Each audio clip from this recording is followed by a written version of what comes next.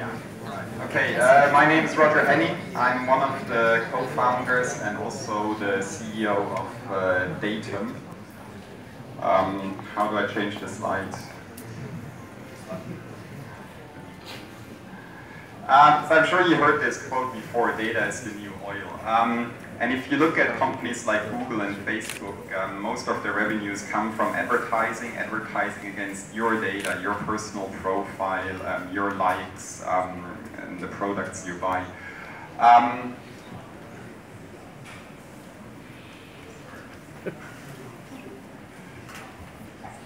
um, so the question is, how much is your data really worth? So we built a calculator. You can go to calc.datum.org and see how much money these companies are making off the data that they're collecting off of you every day. And the number that we came up with, with these 20 companies that we looked at, is about 2,000 US dollars per year. Um, and on our website, you can check out um, the numbers for individual companies. And you would think they would uh, safeguard your information and your personal data, um, but they don't. So Equifax just a few weeks ago um, lost the data on every second American um, uh, person. They lost the social security number, people's addresses, and so on. And the problem is really that all of this data is stored in centralized databases. So these companies are building these huge data silos that store your information. They usually have a firewall or some sort of front door that protects it, but that is always very insecure. It always gets hacked by hackers. And then even worse, from the backend, governments also come and access this information as well. So we set out to find a solution for this, um, and this is the Datum network. Um, so we are building two things. One is a decentralized storage layer for structured data. So you may have heard about projects like Filecoin. Um, so they are building a decentralized file system, and we're building a decentralized database. Um, why structured data? That's the data that is worth, um, uh, usually worth much more than files, because that is the data that machines can read. So while you're using your phone, or while you're using Facebook or Google, they collect all of the information of what you're doing in a database. And so we're building a decentralized database where you can store your data with your private key, and you're always the one that is in control. And you can share and sell access to this data. So this is the second part that we're building on top of that, is the marketplace for this structured data. So we allow individuals, but also companies, to then trade these data sets in an easy and simple manner. And all of this is powered by our token. And um, if you want to build any sort of marketplace or free trade, you mainly need three main things. You need to have a means of exchanging value. So that's the core functionality of the token.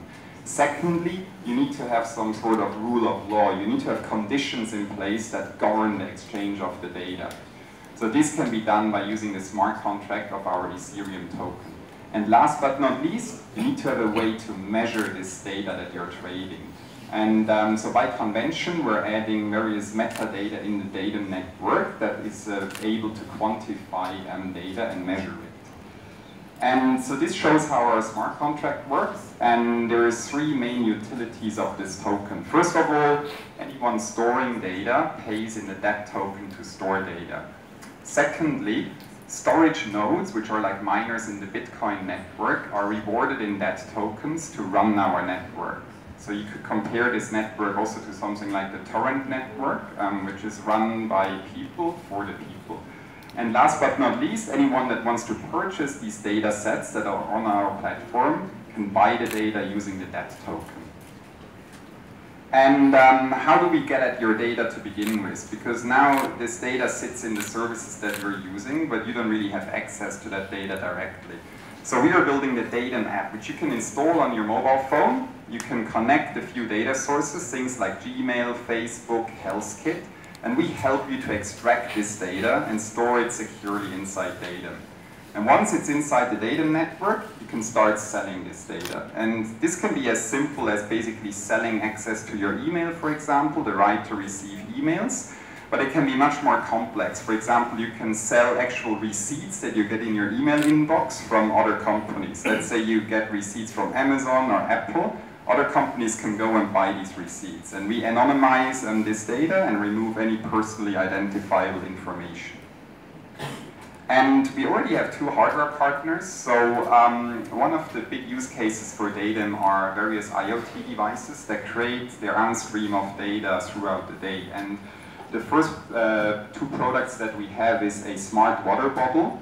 Um, so this bottle tracks how much water or coffee you're drinking every day. And this data gets directly uploaded into the Datum network. And companies can come and buy this data. And the second uh, product is Swings. It's a classic smartwatch, so it has an accelerometer, and it basically works like a Fitbit, but in a nicer watch package. And so all of this data directly goes into the Datum network, where you control who you want to share or sell this data to. And then we are building a data API. Um, so this is our vision that we want to offer to the developers to provide them a way to securely store your personal data when they're developing a mobile app, for example. So this is uh, a replacement for things like uh, Google Firebase or Parse.com or any sort of database as a service backend. So we're providing the, we are providing developers an alternative so that they can directly store the data inside the data network they still get delegated access to your data, but you can at any time revoke this access or control what happens with this data. Um, and you can actually check out some of these things. You can go to demo.datum.org to check out our app. And um, this is our blockchain explorer, so to say. You can see that at dashboard.datum.com, um, what's going on in our test network at the moment. And really, so when you talk about ICO, it's, um, you can also say ICO could be initial customer onboarding. Um, and what we found is that as part of doing the ICO, the token sale, we were able to create a huge community um, around the hashtag take back your data. And uh, over 75,000 people have signed up um, for this idea. And you can go to our website to see uh, William Shatner, uh, Captain Kirk, explain uh, what Datum is.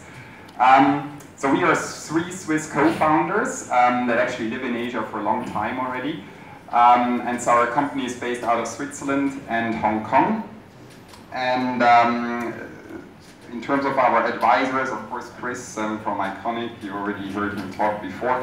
And also, um, for example, Jane uh, Metcalfe, who is uh, the founder of the Wired magazine. and she just also loves this idea of allowing individuals to reclaiming their data, to reclaim data ownership. Um, so all the details of our sale you can find on uh, datum.org, and uh, the sale ends this Wednesday, so uh, yeah. Take back Thanks everyone.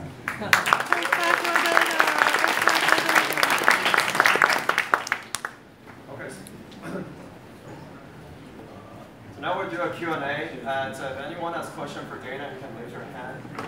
Uh,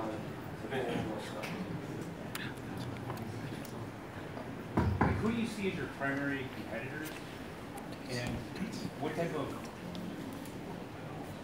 who do you see as your primary competitors, and what type of response do you expect from, like, let's say Google or Facebook?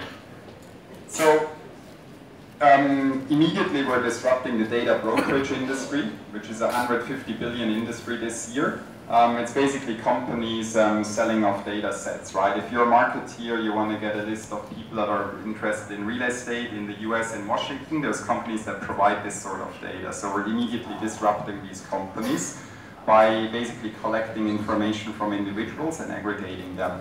Um, so the, the response from Google and Facebook, um, we I mean, we are doing something a bit different. We're going after the raw data. Um, and Google, for example, is collecting all of this data for free nowadays, which is not right. So most of you have Google Maps on their phone, and Google gets this background location data, which is extremely valuable for free from all of us. And so we're providing alternative for other developers to get access to that data. Um, we don't know how far that will go, but from our point of view, if you look at all your personal data, that could be interesting. Google and Facebook are only a little slice of that. The remaining data is locked up maybe at governments, maybe at your healthcare provider, and so on. So we really think in the future, Datum could be a way for developers to, to build services that use your personal data and get access to a much wider array of your personal data, right? Even than what Google and Facebook can access um, at the moment. Are, are, there any competitors that you would say are similar to you? Um, No, uh, not really, I think. Yeah. Yeah, I mean, I, I, I, if you want to hear some project of course there is other projects that provide, um, uh, for example, Filecoin, right, Sia, and so on. So that is for file storage. Um, there is other projects that do some similar things in terms of financial prediction markets or so. They have similar technology behind. One of the ICOs was Enigma, for example, um, recently. Uh, yeah. Any, any other questions? Yeah. I just want to clarify, how does a data token play in the role of this data economy that we're talking about? Right, so first of all, the storage of your data needs to be decentralized, so we are not running the database. And to incentivize people to provide their notebook or their server to be one of the nodes that runs this network, we need to reward them somehow. So, so this is the main first role of the token is to reward these people. And then of course, anyone that wants to store data in a network needs to pay for that. But for individuals, we are basically offering uh, microcredits, so you will never have to pay something. But if a, a, company wants to put one terabyte of data on the network, they have to pay for this storage. Um, and last but not least, what's, so we use something called proxy re-encryption to securely um, allow people to access this data without needing a middleman in the middle when the data trade happens. So if you compare, if you look at something like uh, eBay, if you buy something, you need to send the money to eBay, and eBay tells the seller, hey, I received the money, it's okay, you can now send the merchandise. So we're able to uh, automate all of that through the smart contract, in, uh, through the Ethereum smart contract. But the really important piece is this proxy re-encryption, which, which allows you to share data with someone else without the network in the middle ever being able to decrypt that data. So the only people who ever get access to data is you and the person that you sell this data to. And in no point of this transfer are we involved. So we built the technology, we built the blockchain and decentralized data storage network, and, and that is what the token allows us to do.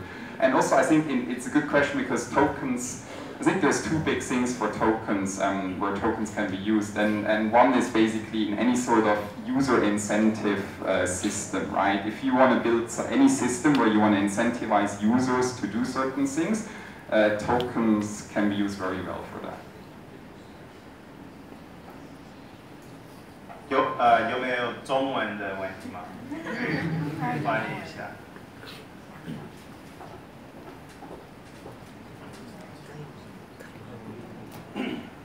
Datum have any potential with any other uh, IoT companies for greater cooperation?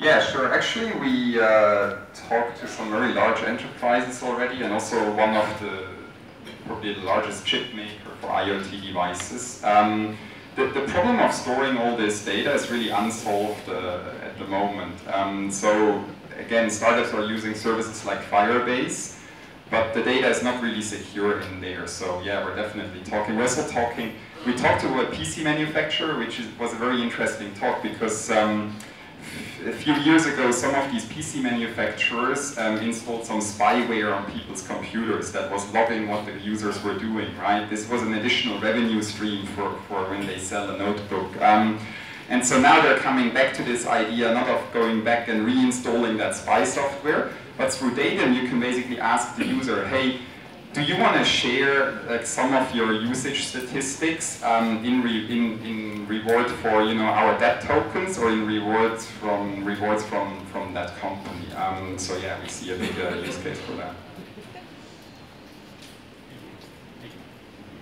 Thanks. Okay. Uh, one more question here in the back.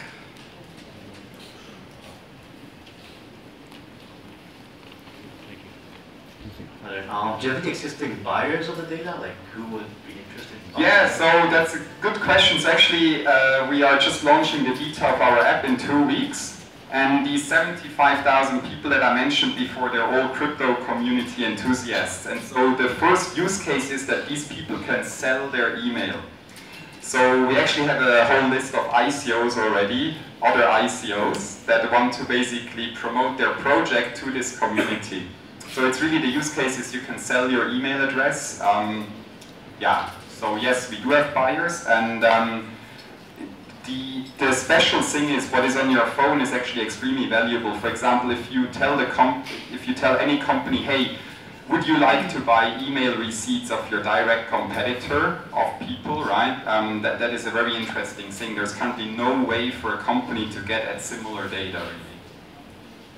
Yeah, that goes back to the same uh, why would I buy off data instead of buying off Google? Let's say, like my phone. Yeah, so you- Every single step, but Yeah, but you, so Google doesn't share this data, right? Google sells the data in form of advertisements, meaning it, you know, you can make advertisement on Google um, for people that are interested in, in real estate in Washington DC, right? But you can't get at a raw list of users from Google, nor can you get at any background location data from Google, for example. So they take all of this data and then they sell advertisements against it, and there would be a huge market. The problem is also there's lots of knowledge that lies in this information. So developers could do a lot with this background location data, but they have no way of, of accessing it. So one company that, that contacted us, they have the largest deployments of Bluetooth beacons in Australia. So those beacons allow them to tell um, companies what the users, what consumers are doing inside a store. And so that company tried for years to get access to the background location data of users because that would allow them to analyze what are, what are consumers doing outside of the store. But they have no way of accessing this data. So through Datum, we give them a chance to get access to this data. And you as an individual get rewarded for turning on the sharing of this location data. Which in fact in Google, as soon as you have Google Maps installed, by default it's sharing this data for free to Google. Okay, one last question is, how do you prevent abuse of people? Yeah, so we, we yeah, so we have a trust and rating system in a sense that data can be um, uh, rated, and also by default all the data is traded anonymously, but we do provide several layers where you can start sharing your identity.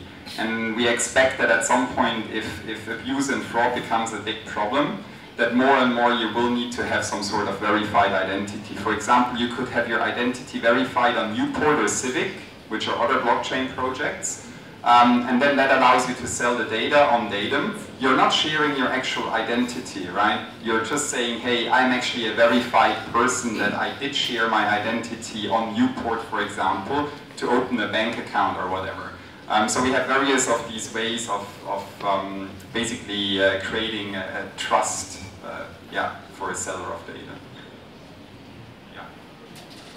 Yeah, we know that the current uh, business model of the Google and Facebook is advertising.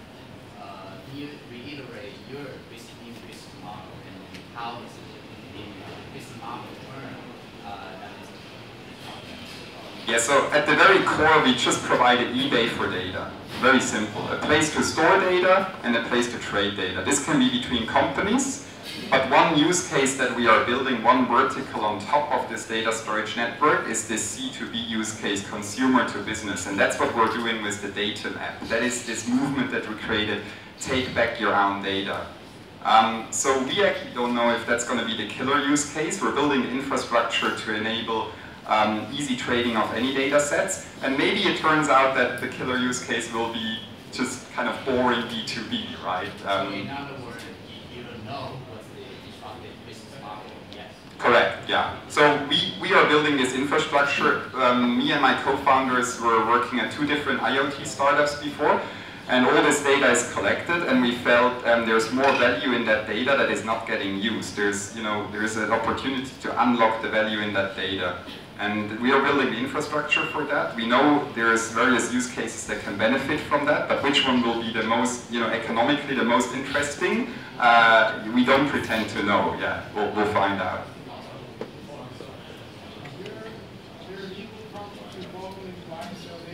Yeah, that's also interesting. One of our advisors is actually a, a lawyer, and we brought him on for that. Um, there are many issues around that, and for example, in the European Union next year, they are introducing a new regulation, General Data Protection Regulation, and this will force companies to give you some rights on your data. One very important thing, you can ask any company in the European Union next year to delete your data. Right? This seems like a basic thing, but that is a big problem already nowadays. And so Datum goes way beyond that. In Datum, all the data that is stored belongs to you, and you're the only one ultimately who has control. So we go way beyond this, for example, GDPR. the Datum API that I talked about, um, we allow companies to be GDPR compatible without having to invest anything in you know, making themselves compatible. So if they use Datum as their data storage backend, automatically they are, you know, they go beyond GDPR um, regulations. Um, yeah.